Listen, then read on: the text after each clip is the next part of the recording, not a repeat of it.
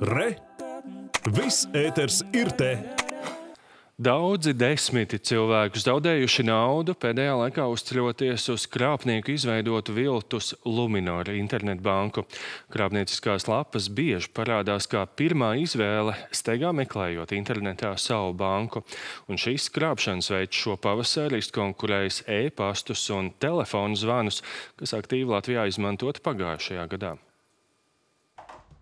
Valsts policijas iecirkņos visā Latvijā mājā saņemti desmitiem iesniegumu no krāpnieku schēmā cietušajiem. Kādam Daugavpils iedzīvotājiem tie ir vairāk nekā 9000 eiro, grobiņas iedzīvotājiem gandrīz 5000, bet kādam Ventspilniekam naudu arī vairāk tūkstošu apmērā tomēr ir izdevies atgūt atnāca jauna karte, maksājuma karte, un vajadzēja viņu e, aktivizēt internetbankā. Nu, viņš Google meklētājā ievadīja Luminoru nosaukumu un izlaica ārā uzreiz tiešā saiti ar internetu banku. Paldies Dievam, stāvēja uz uh, statusā rezervēts. Un tad mēs sazvanījāmies ar banku, palūdzām, lai viņi aptur maksājumu.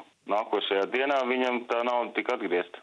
Izmantojot viltus Luminoru internetbanku, aprīlī un maijā apkrāpti nepilns simts Latvijas iedzīvotāji. Schēma pārliecinoša. Cilvēks steigā internetā meklē banku, tad sekojot reklāmas saitē, lietotājs nonāk mājaslapā, kas līdzinās Luminoru internetbankai. Ievedot savus bankas datus, tiek dot iespēja krāpniekiem piekļūt kontiem. Jāpievērš uzmanība, kas ir šie augšējie linki, kas jums tiek piedāvāti kā reklāma.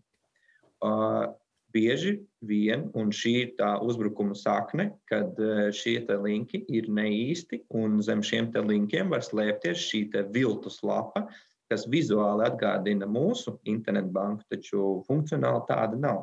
Tātad nemeklēt šo uh, Luminoru internetbanku caur uh, šīm Google vai kādām citām meklēšanas sistēmām, bet pārliecināties, ka tā tiešām ir Luminoru bankas īstā uh, internetu mājaslapa un tad tikai droši iet iekšā. Banku drošības dienesti informē, pat ja maksājums nav veikts un cilvēks laikus ir atpazinis viltus mājaslapu, dati var būt kompromitēti. Sadarbībā ar policiju šogad nobloķētas vairāk nekā 40 viltus mājaslapas, norāda Luminor bankas speciālists. Jā, mums ir izdevies palīdzēt vairākiem mūsu klientiem, kam diemžēl ir nepaveicies un kas ir kļuvuši par upuriem, bet neskatoties uz to, mums ir izdevies eh, gan atgūt eh, viņu līdzekļus pilnā apmērā, tas ir izdarāms. Rudenī Latvijā esot bijis arī krāpniecisko zvanu vilnis, bet sākoties karam Ukrainā, zvani Krievu valodā atskan retāk. Kas ir interesanti, varbūt tas kaut kādā veidā ir saistīts ar kardarbību Ukrainā, jo, piemēram, vēl pirms gada nu, ļoti daudz šādu telefonu krāpnieku zvanu nāca tieši no Ukrainas. Ja, bija arī ziņas, ka Kijavas uh, salīdzinoši centrā pat aizturēja vairākus telefonu operatoru centrus. Tikmēr par viltus Luminor internetbankas lapām šobrīd valsts policijā ir uzsākti vairāki krimināli procesi, jo pat informējot un brīdinot iedzīvotājus, ka nedrīkst atvērt nezināmas saites, krāpnieki tās izveidojuši tik rafinēti, ka cilvēku atšķirību nepamana. Gonda Porniecina Žodziņš, Kurzemes televīzija.